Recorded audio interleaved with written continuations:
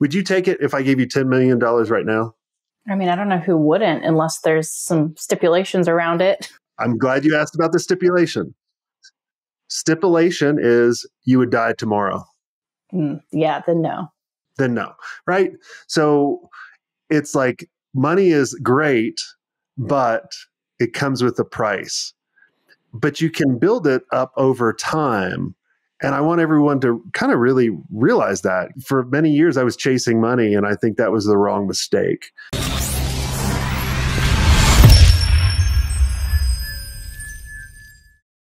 Hey, what's up, agency owners? Jason Swenk here with another episode of the Smart Agency Masterclass. And I have an amazing agency owner who has grown an agency over a whole whopping two years, but has gotten over the seven figure mark significantly uh, in such a short time. So, we're going to talk about that. And uh, let's go ahead and jump into the show.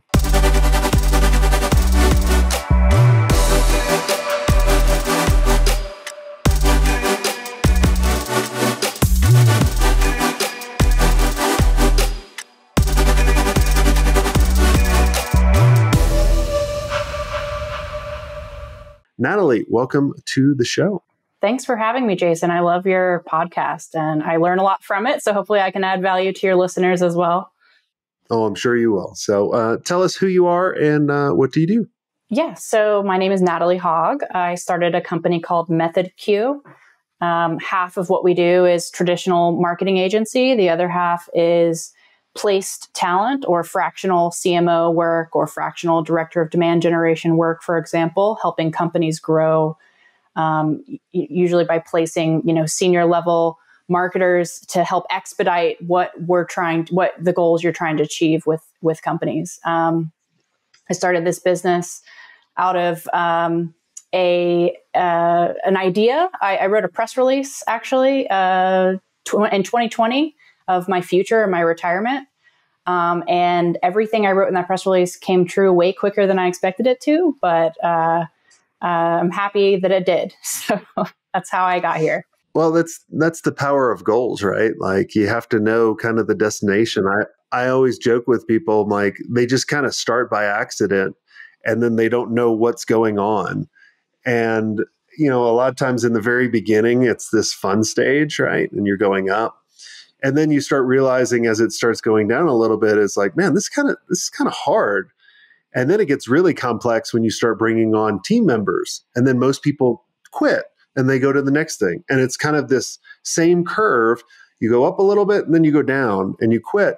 But if they realize that there's that little mark there's that little uptick where you get that little momentum where then you can start chasing your goals and, and if you know where you're going it's easier to hit that mark versus just you know, shooting in the field going, I'm not going to get anything. So talk, talk to me a little bit more about that press release um, because I find that pretty interesting. Um, so, what else was in that press release? Yeah, so I wrote, um, I was in a leadership class. I was working, I've only worked in house before now. Um, and I was a problem solver. I was never really satisfied in my seat in house. I, I like diverse problems. I like to do a lot of things. I think I'm a natural leader. Although at the time of writing this, I didn't actually know what leadership was. Now I'm learning every day due to all the problems you just talked about, uh, growing a team and adjusting.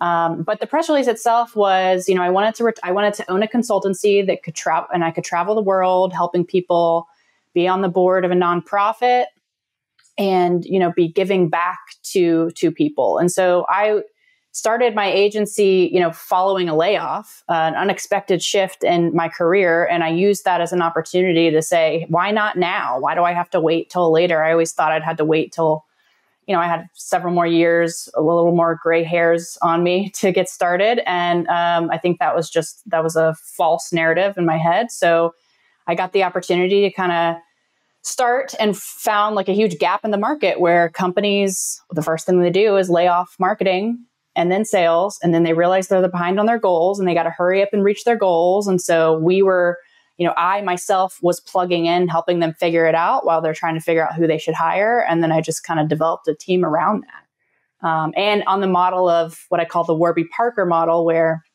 for all of our successes, we give back in some way.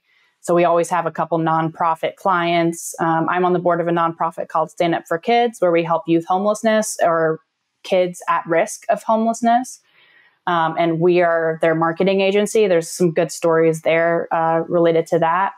Um, but yeah, I mean, I think I started with the idea of faith. Like, okay, if I do the right things, this is going to work out, whether it's an experiment or it's long term. And so far, it's turning out to be, you know, two years later, uh, I've hired and I finally have gotten things off of just my plate. And, you know, there are challenges that come with that, of course, but uh, it's also really exciting. Was there any point when you were starting that you were like, nah, I'm gonna I'm gonna throw in the towel. Let, let's go do something else. No, honestly, no, because I didn't want to go back to. I, I, liked that I had the control, even if it was scary and hard, um, which may or may not be healthy. I don't know. I think that's why a lot of people go out on their own, is they like that control. And then I realized, you know, what I have realized recently specifically is that, you know, you also you also just take care of yourself. So I'm very ambitious, constant growth. Um, I think about my team members first and how I'm making an impact. And then I don't focus on myself till it's too late. And I'm learning that the hard way this year. I've been sick a lot. Um, and, you know, with traveling and, you know, COVID got, got us all down, our immune system down. So I'm just learning, you know, you also have to be you have to take care of yourself as a leader and in order to be a good leader or to to manage a business. And so it went from Natalie is consulting to I'm leading a team of amazing talent that I need to be there for. And if I'm going to be there for them, I have to be there for myself. What was the big surprise of building the team up that caught you off guard? it's I, it kind of snuck up on me. So we grow, we just grew really fast. I think the surprise for me was that so many amazing people that I've worked with for years were willing to quit their job to come work for this tiny little startup that I started just because they trusted me and they believed in that that model where we wanted to do marketing right um, and we didn't want to have a transactional relationship with our clients. We wanted to have wanted to roll up our sleeves and be part of their team and be part of a long term initiative. We're builders, and then also just you know kind of having the freedom to kind of build something around um, uh, that w- we could call our own. So you know the long term goal is to do. Um, all kinds of things outside of agency. Maybe we do a learning module. Maybe we you know do some other things, but um, the, the surprise was it kind of snuck up on me. I was like, oh, wait, now I'm responsible for people and families. And, um, it, you know, our, my reputation for uh, Method Q's reputation has grown so much that people are hearing of me and I haven't even talked to them. And it just kind of snuck up on me. So it's a great problem to have. But I think it's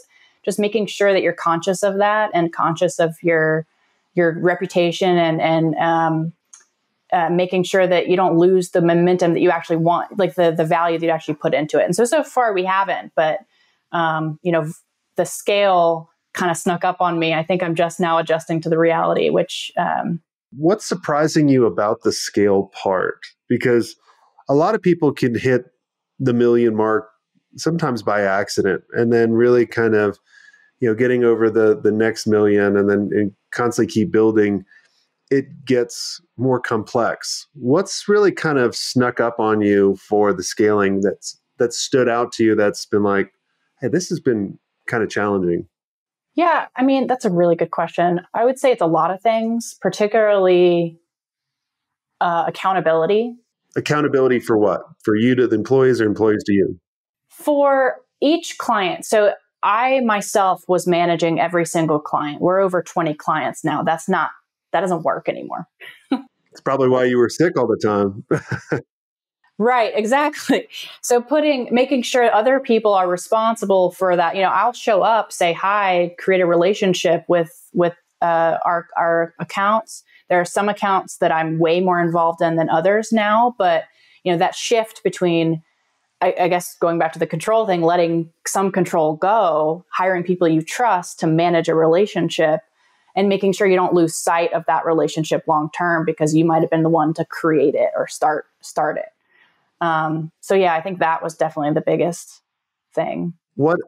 So the first time, because there's a lot of people listening right now that um, how do I say this nicely?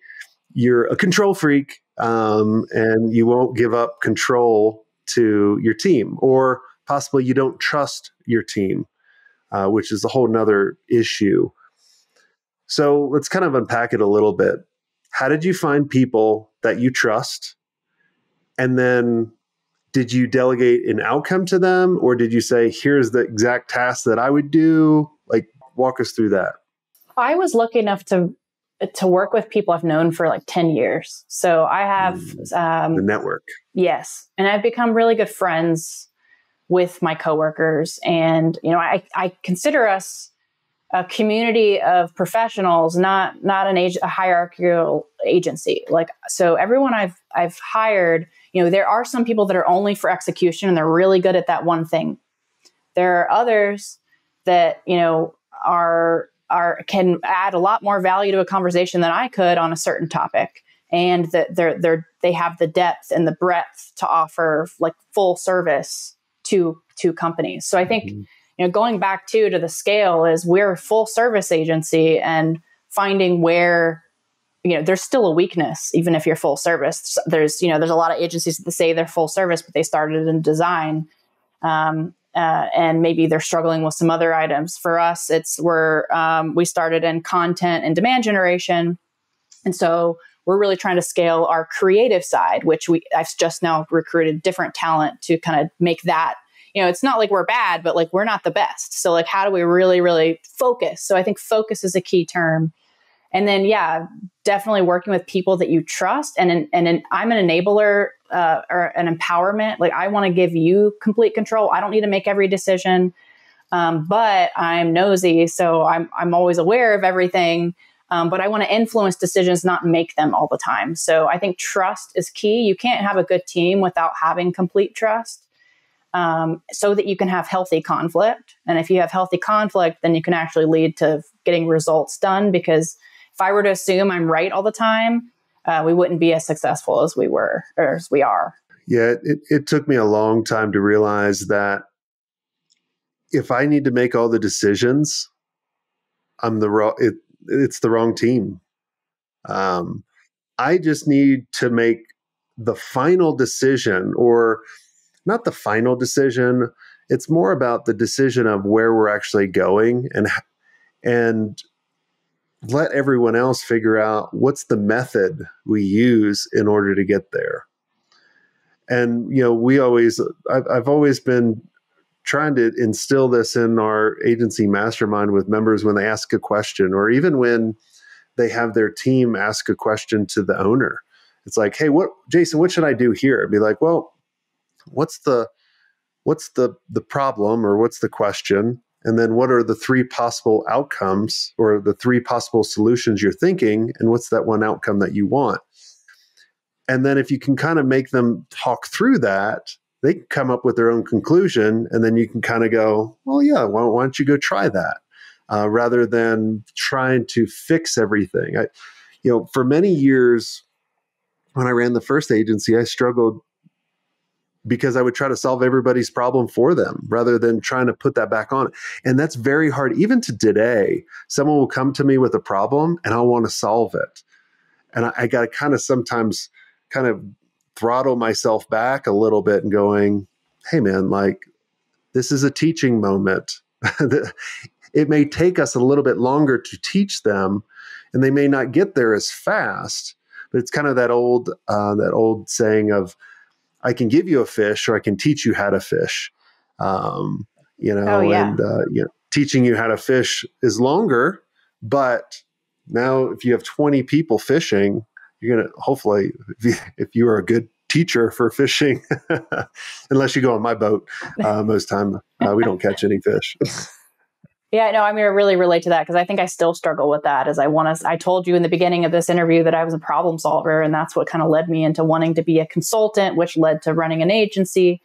I mean, I love solving problems. So, yeah, being able to say, sorry, I can't solve this problem, or, you know, uh, traveling and being out of pocket all day. Well, like I guess that term is Gen Z doesn't accept that term anymore. So being unavailable that week, um, you know, to be there for my team is uh, hard because, or is, is is a natural test to if they can solve a problem without me being there. So because I've got myself personally have had so many commitments and, so, and been so busy. I've been the only salesperson up until now. It, I've kind of been forced to let go and to not make decisions, and for my team kind of be left making them they're swimming on their own because I wasn't there for like a couple days or something. So um, I've been re- incredibly impressed with my team because of that. Um, but I do think I need to spend a little bit more time than I do on my existing agency. I'm spending more time on my clients than my own company. And so that's the shift where I'm at, where I've got to spend more time on my company and the people. Um, and, uh, you know, clients are very, very important, as we all know, but they can also steal all your time and your before you know it your own business is is hurting and so we're not there yet but that's just kind of what i've been recognizing recently I was going to ask you about the, the freedom that you have right now. Do you have any freedom? Like, you know, you're a multi million dollar agency. A lot of people would like to be in your shoes. But I also tell people, I'm like, without freedom, it's not even worth it. So, do you have the freedom that you envisioned when you were starting the agency yet? In the beginning, yes, it was amazing. um, yeah, at the fun stage yeah, yeah. I really like so I'm past the fun stage, but that was great. Um, now, you know, it's a choice. I have to choose whether to put my full self to the point where I'm exhausted in the business at all times or find those boundaries. And so it's it's a conscious decision you have to make every single day um, and make sure you find out if you're not able to put your full self in who's there to fill the gap if it's not you? Because you're the only person that's going to care as much about your business as as you do um, unless you have you know equity that that that i have equity incentives that helps. Um, but finding the right people to fill in that gap you know so right now i'm at the point where i need an assistant. I have been pushing you know i don't need one for a really long time i've had some virtual assistants some part-time help but i need a professional who can help me make sure that i'm prepared uh, when I show up it, it, with everything at the right time, the right place, but then so does my entire team. So I've been thinking about a lot of different gaps recently of what could I, what could make our existing team more efficient? Where can, uh, where am I dropping the ball because I'm constantly going to be taking on more, and so I'm going to constantly have to delegate or take a chunk off of my job and create a new job for it. And, you know, of course, that new job sometimes impacts profitability, but does it give you an opportunity to make more money later? Yes. So finding that yeah. perfect balance. But I think it's an everyday thing. Yeah, I, I think where where you're at too. Um, I think it's about the who's. I think it's about who do you need to bring in in order to help you with this who do you want to serve right? You've only been doing this for two years which is amazing. So like you'll figure out like man this type of client man this this client drains the shit out of me. Mm-hmm. i need to get rid of this person. Like thank you for helping me get here and, and figuring this out but you, you need to go to my competition down the road distract the hell out of them. Uh, and then the last two is really who do you need to become? Um, you know, in order to like I always tell people it's like my agency would get to this level, but guess what was holding the agency back? It was me. Mm-hmm. I was on top of it. But then if I could level up a little bit more, then I could bring the agency up uh, another, you know, centimeter. I mean, it's all like centimeters and inches, right, really. Right.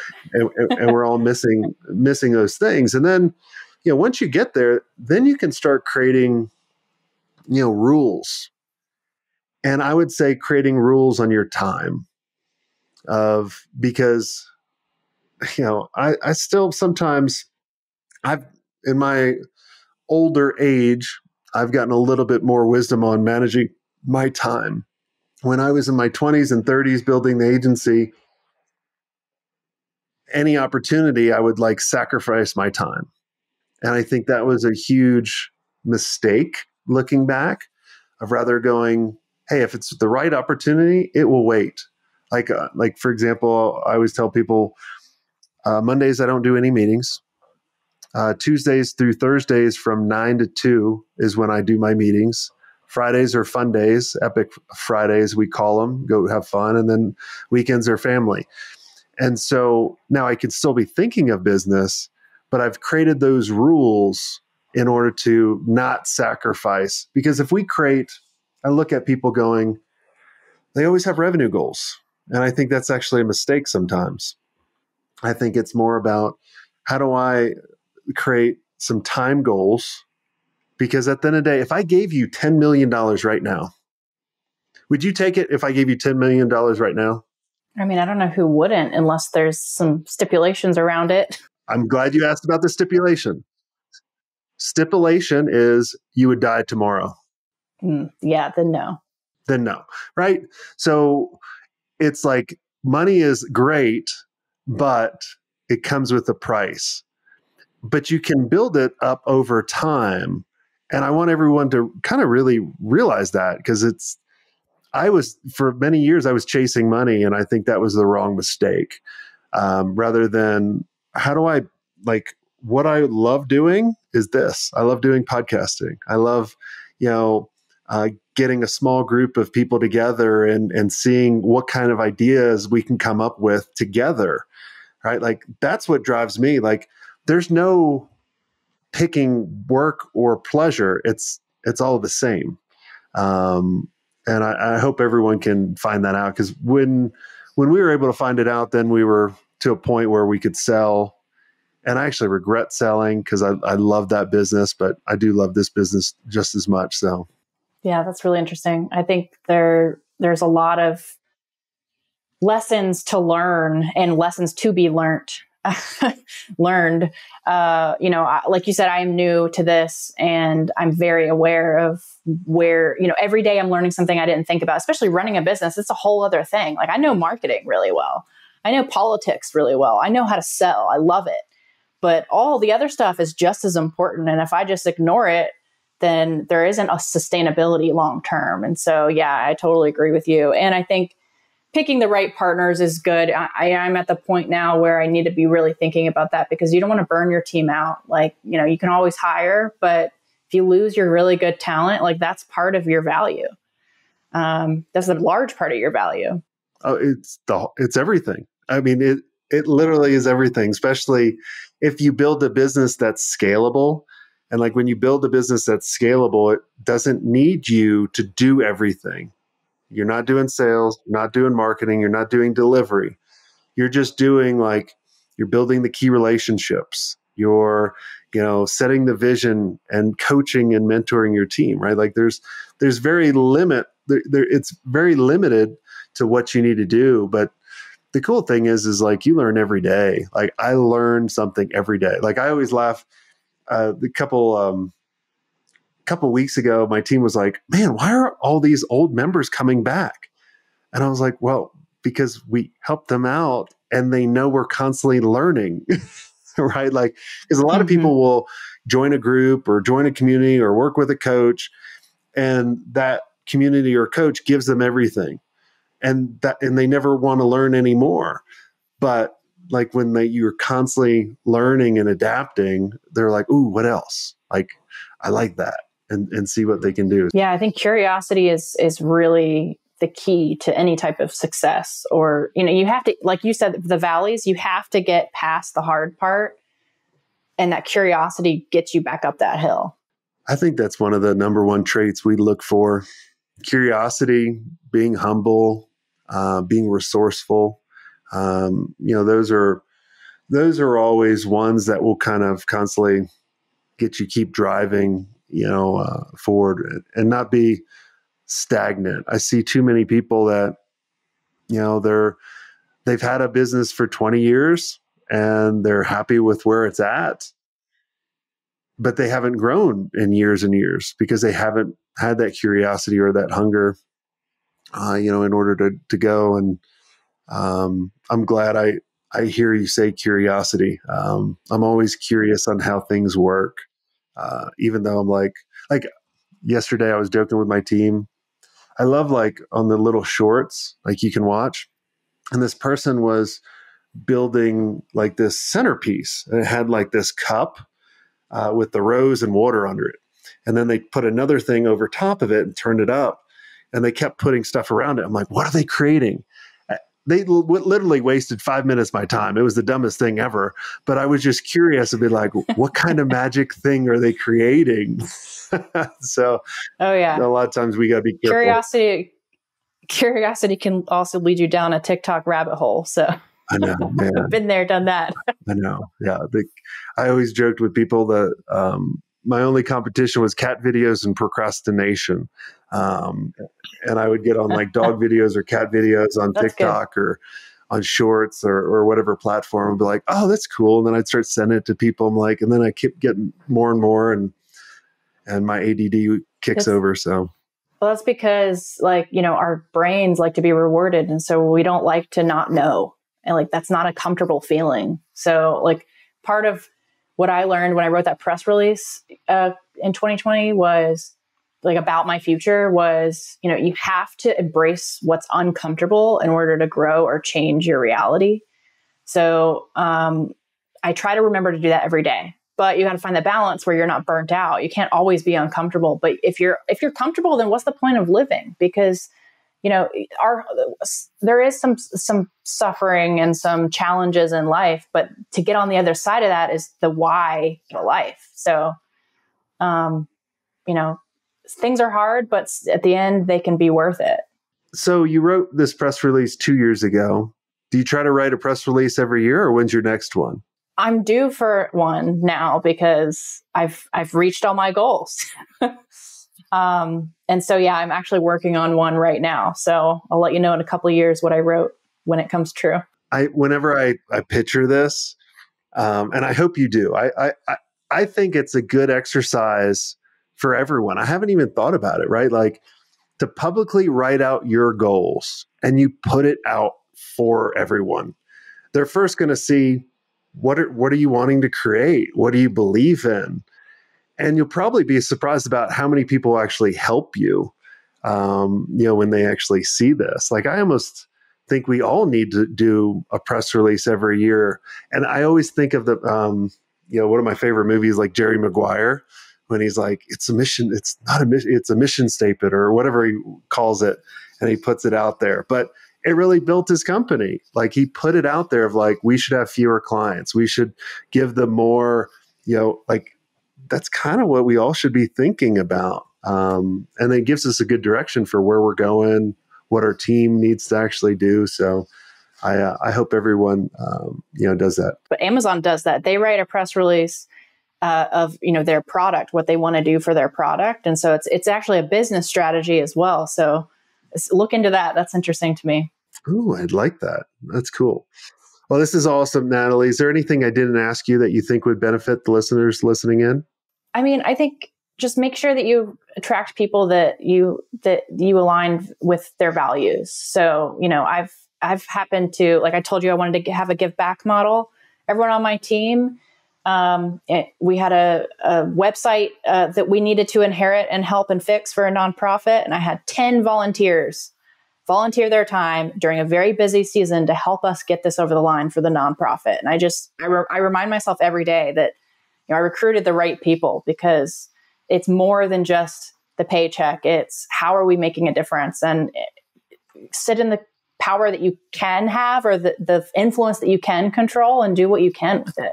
It's awesome. I love it. Uh, what's the agency website people can go and check you out? Themethodq.com. Awesome. And for everyone listening, I want to thank all of you for listening for like nine and a half years. Uh, we're coming up on 10 years, and we want to feature you guys and ha- have and have the ability for you guys to come on the show and have me interview you. If you want that to happen, go to smartagencymasterclass.com and there's a little button at the bottom. You know, apply to come on the show. So I'd love to have you, if you've been listening to the show for a while, have you come on and uh, and let's wrap and uh, and chat about the growth of your agency and, and all good stuff. So do that, and until next time, have a swank day.